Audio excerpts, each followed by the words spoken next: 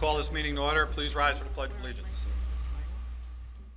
I pledge allegiance to the flag of the United States of America and to the republic for which it stands, one nation, under God, indivisible, with liberty and justice for all.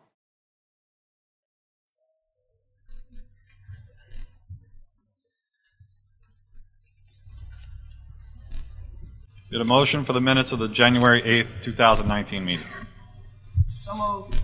Second. It's been moved and seconded. Any discussion? If not, all those in favor? Opposed? No one? Motion carries unanimous. Public forum?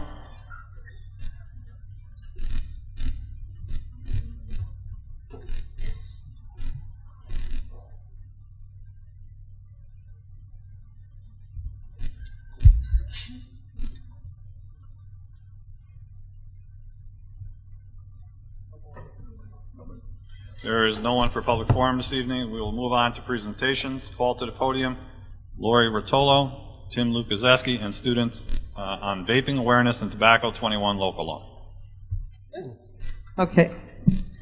My name is Lori Rotolo. Um, I am working with Tobacco Free Action Communities, and we do a lot of work and education on policy, um, tobacco policy.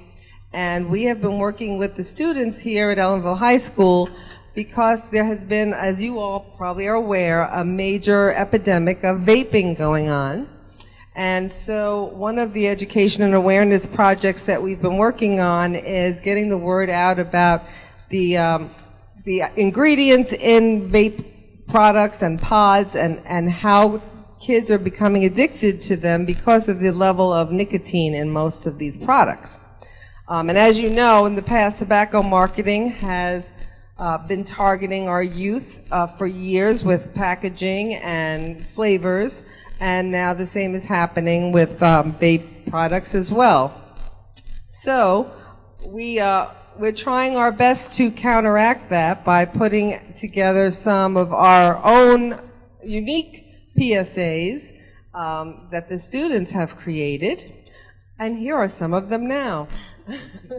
um, so we worked with the students and we, we provided them with a lot of different resources and information on vaping and asked them to do some research of their own to come up with some real important information and data to share to educate especially students and parents on the dangers of these vape products and how it, they're not safe and they're not a safe alternative necessarily to smoking because of the ingredients and the nicotine, which, as we all know, uh, provides that kind of response in the body that creates an addiction. And what we're hearing is that these products have more and more uh, nicotine and students are using them more frequently and are also unfortunately using regular tobacco products as a result of this addiction. So here are two students that we've worked with, and I just wanted to ask them to, to talk a little bit about what, what are some, the, um, come on over, some of the things that they have learned from this research um, and what this project was like for you guys before we get into showing you their video and listening to some of the radio PSAs. Hello. Hi. Hi. Uh, Malave. Oh, sorry. Wait, the, okay. So we made a a PSA video, um, just sort of um, a bunch of information that everyone should know about vaping. Um, a bunch of stuff that we hear about on an everyday basis as a students is that um, most of the students are vaping as a safer alternative to smoking. And through doing this project, we actually learned that it's not actually safer. And I think you'll see a bunch of the information that we found in the video that you're going to watch in a little bit. Hello, I'm Isabella Ligatino. Also, we did learn a bunch about vaping and how people did say that it was a safer alternative, and we learned it in fact was not, and that it's like hurting people, and that them thinking it's a safer alternative was like not true, and yeah.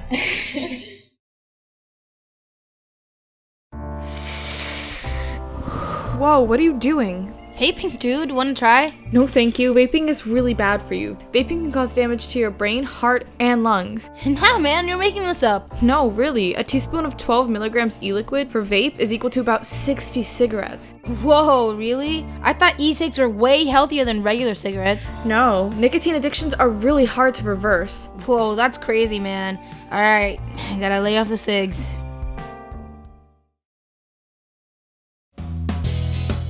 Congratulations to Ulster County for passing the Tobacco 21 law. I can't believe that there are kids at the age of 13 vaping. Yeah, that's crazy, but with this new law that will come into effect, it will make it harder for high school students to get a hold of tobacco and tobacco products. Yeah, that's right, because the law raises the age to purchase tobacco and e-cigarettes from 18 to 21. This law will take effect January 1st, 2019. Thank you, Ulster County. Thank you, Ulster County.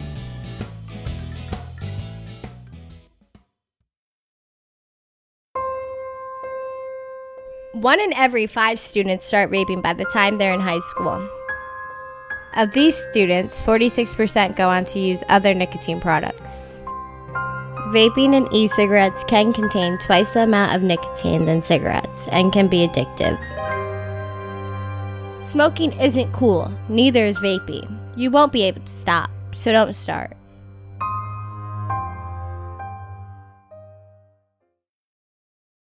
One in five high school students currently use a tobacco product in the U.S. E cigarettes continues to be the most commonly used nicotine product among middle school and high school students. Although they are not cigarettes, they are just as bad. E cigarettes and vapes contain nicotine, and that affects the brain development, which continues to age 26. So, thank you, Ulster County, for joining other counties across the state, including Orange, Sullivan, Westchester, Albany, and New York City, that have already raised the minimum age of purchase to 21 for tobacco products.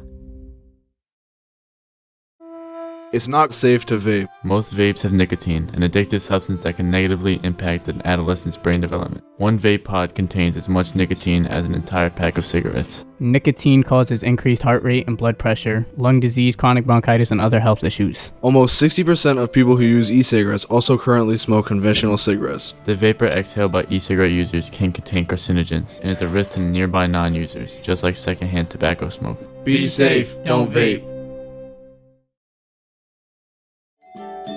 Did you know that 9 out of 10 people have tried cigarettes before the age of 18? Starting January 1st, Ulster County is passing a Tobacco 21 law. This law is raising the age to buy tobacco, e-cigs, and all vape products from 18 to now 21. The reason why this law is being passed is to reduce the usage of vapes and cigarettes in schools and by teens. Ulster County now joins Orange, Sullivan, and Westchester counties, along with Albany and New York City. Thank you, Ulster County. Thank you, Ulster County. You don't know what you're talking about, bro. Vape is better than smoking cigarettes. Vaping cannot harm you. Vaping can definitely harm your body. Since 2011, vaping has become increasingly popular. Teenagers are inhaling chemicals, such as diacetyl, which when inhaled, it can affect lung capacity. In addition to lung disease, nicotine is also inside these cigarettes. Vaping also contains formaldehyde, which when inhaled, it can cause shortness of breath, nose, and throat irritation. Still sound harmless to you?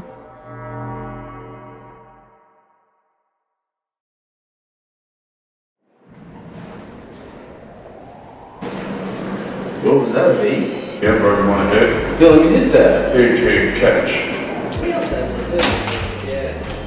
Whoa. I have double the amount of nicotine in cigarettes. I can rot your teeth. You still want to vape me, bro?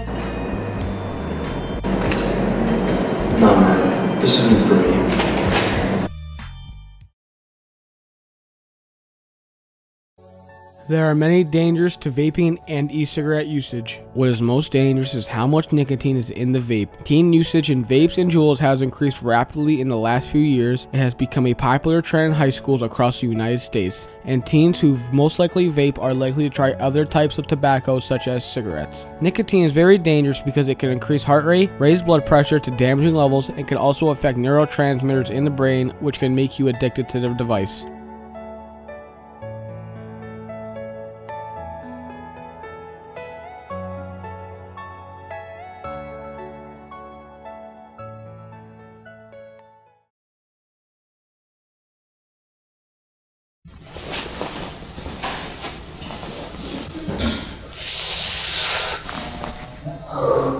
What are you doing? Vaping, dude. Wanna try? No, thank you. Vaping is really bad for you.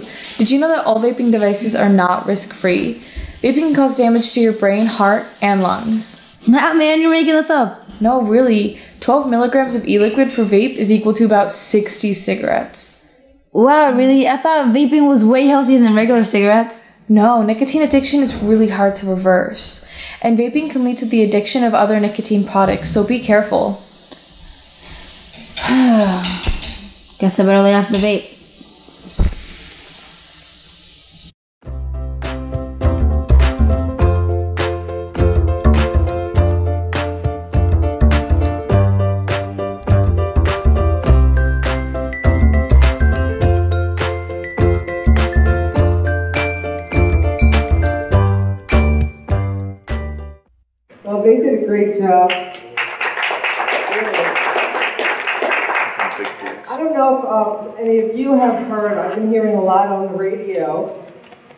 Throughout the day, I'm hearing all these Juul commercials on the radio. Um, more and more in the last few weeks, actually. So I think this is perfect timing for us to blast the radio waves with these counter messages that the students have created. Um, we hope to share these with the uh, Ulster County Legislature and with several other radio public uh, access channels throughout the area. We also have connections, the TFAC has connections with radio stations that can give us, some, you know, airtime if we provide these PSAs, and they will run them for us. So we're hoping to get them out on the airwaves uh, as soon as possible. And uh, any other, anything you want to say about? Yeah, and I, I like to, we've been working with Lori for several years with this, uh, starting with the tobacco marketing a couple of years ago, how, you know, big, uh, big tobacco companies are advertising to kids. And, you know, we're always trying to get one step ahead. I, I always think it's important, not just that I can curtail my curriculum to have students work on stuff that affects them. Uh, immediately. And I think if you heard the radio, you heard every, I have 25 students in my class, and I think you heard about every one of their voices on there. So I think it's great to get each of their voices and, you know, so they've all, you know, been affected by this and hopefully if they're, they, they- they've been thinking about it, that hopefully that even if only one of them chooses not to, it's been a success. So, um, like I said, uh, these girls have been great. They're, they're go-getters. They're, you know, and, you know, they take the cameras home. They have a lot of fun with it. And like I said, I just think it's a, it's a great message to, uh, to put out there. And you heard some of these messages are, are almost outdated because it said they're going to, you know, starting January 1st. So we're thinking about changing those to as of January 1st. These took place so they stay more current, the messages. So the students, when they come back after Regents Week, are going to re-record a couple of these to make them more current so they can be used from this point forward. And I would like to ask what, what you guys would like to see us do with these, and whether we, we can put a button on our webpage or something to put them on our YouTube channel or, you know, anything we can do. You know, we're gonna run them on WLV, you know, and then get them out to everybody. But anything you want us to add to these or any ideas you guys have, we're always willing to. And any way we can help to educate parents, you know. So if they can, um, any way that you can think of that we can help educate parents as well so that they understand what's happening, because as, as parents, sometimes we don't realize that a little thing that looks like a flash drive is really a, a vape pod, and we may be missing some vital cues. And so any suggestions you have about how we can reach out to parents with this information would be helpful too. Well, thank you. Any questions? Board members? John? Uh, Thank you very much, ladies. And and Tim, I just want to say, you you- you and your students do a great job, and we're going to do our best to get that building project passed so you can have better facilities and continue to do great work. Anybody else want to be heard? Iris? I just want to thank you for the effort. I think that it does make a difference, and, you know, I understand that there is a problem all over with this, and, um, I know that it'll be, I've heard something on the radio already, you the local radio, and, uh, just appreciate it, and I, I would like to see if they can put up on the website. I think, you know, parents should have the opportunity to access this information, and, and along with seeing what our students are doing. So, I appreciate it, thank you very much. And on behalf of the board? It, uh, it's always, the, the key to this is, is awareness, and awareness always plays a major role in whether you choose to use or choose not to use any type of drugs, in particular bringing this to the forefront, the, the choice of using vape. So we thank you for that, uh, we hope that people pay attention to this because it is not safe, and we uh, hope they get the message. But thank you for, for your work and the students as well.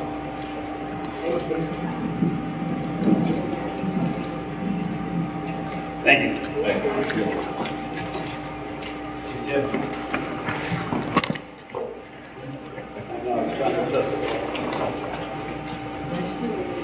Move on to, move on to reports for uh, information and correspondence uh, from my- myself. Uh, Board members, uh, two things. One, please mark your calendars for uh, next Tuesday, 6 to 8 p.m. We have a special meeting slated to discuss uh, the the scope of services and the joint committee proposals that have been put forward. Um, And we wanted to allow uh, enough time to have a full discussion on this so that the board could be fully advised. Originally, it was going to be um, on tonight's agenda, for a meeting, but with a 10-minute rush job, and I feel if anybody's agenda should have a rush. We're going to have a special meeting uh, so that we can have a full discussion and, um, uh, you know, really take a hard look at uh, uh, uh, this proposal as well, so we have plenty of time uh, next Tuesday at 6 to 8. Uh, We hope to see you there. 6 to 8.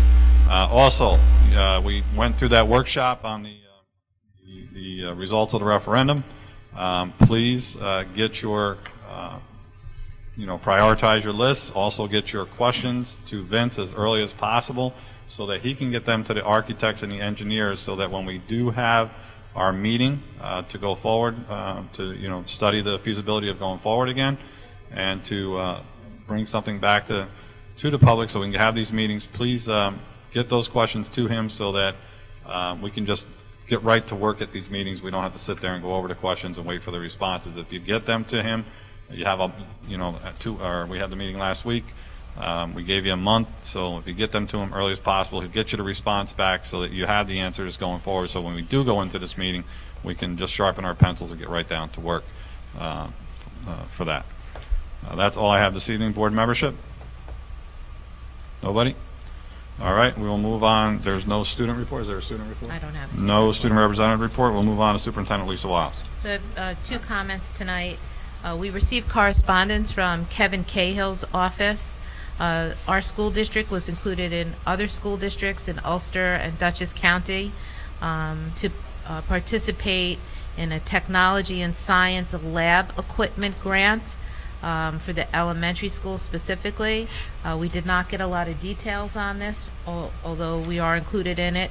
Um, The Benjamin Center is the center that's going to be facilitating the work, and uh, Vince is going to be going up on Thursday night uh, to Ulster Boces for an informational meeting. So I really want to send some thanks out to Kevin Cahill, although he's not our representative.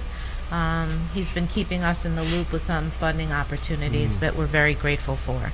So as more information becomes available as to what the equipment is and what opportunities there are, uh, we will keep the board informed. Uh, The other thing is just a reminder that on February 8th and 9th, the middle school will be having the production Seussical um, in our high school auditorium. So mark your calendars. I hear it's um, going to be a wonderful show. That's all I have this I- I- evening. Iris? Something? Yes. Yes. Um, I noticed in um, the elementary principal's report, she talked about Project Fit America, a Mhm. grant that they're applying for. And as I understand, it's a vote, you- people vote for it. So would we be, will we find out how we can vote when the time comes? Yes. I'm not sure exactly what to do, so We'll- I'll we'll make sure you- count on we'll- you. Okay. We'll make sure that thanks. you get the information on, like to on how to vote for the project. Great, thanks. Thank you, Superintendent Wiles. Uh, Assistant Superintendent for Business, Mr. Napoli. Thank you. The only thing I'd like to report on is on um, January 8th, we had a Wellness Committee meeting. It was actually a, a pretty productive meeting. We talked about how we can get some of the local farmers involved in our curriculum here. Um, we bounced around some ideas. Um, the elementary school is having a uh, K through 5 uh, Roadrunners initiative. The kids log miles, um, and then they report it back uh, to their to their building. Um, and then Mr. Moyer talked about the obesity planning grant. Um, he's and Angela are more of an expert on that, but uh, it was actually a pretty productive meeting. And uh, I don't, we don't know when our next meeting is, but I'll be sure to let you know. Thank you.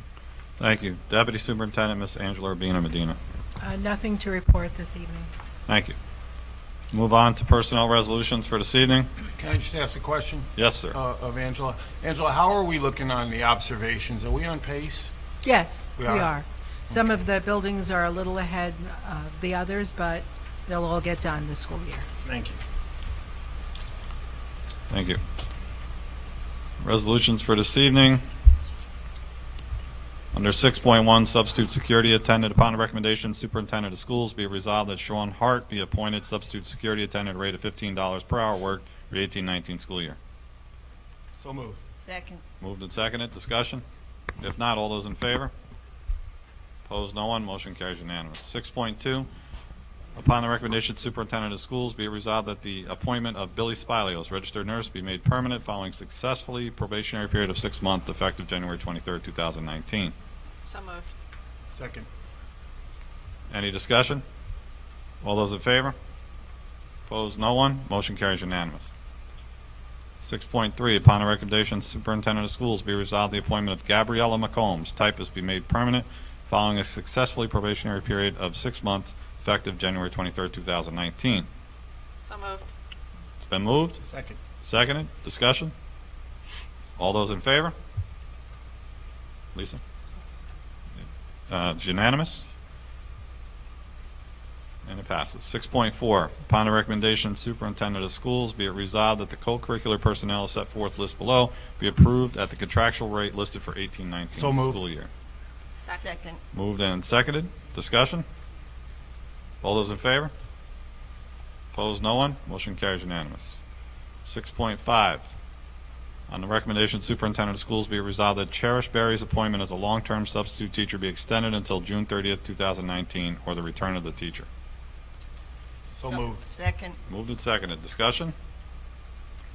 All those in favor? Opposed? No one? Motion carries unanimous. 6.6, upon the recommendation of superintendent of schools, be resolved that Rachel Hammersley be appointed certified substitute teacher at a rate of $125 per day worked on the 18-19 school year. So moved. Second. Moved and seconded. Discussion? All those in favor? Opposed? No one? Motion carries unanimous. 6.7, upon the recommendation of superintendent of schools, be resolved the resignation of Charles Murray III as long-term sub be accepted effective February 1st, 2019. So moved. Second. Moved and seconded. Any discussion? All those in favor? Opposed? No one? Motion carries unanimous. 6.8, upon the recommendation of superintendent of schools, be resolved that Catherine Eckert be approved as a one-to-one aide to attend after-school activities with student number 107010131 as needed at a rate of 1916 per hour. So worked. moved. It's been moved Second. and seconded. Any discussion? All those in favor? Opposed? No one? Motion carries unanimous.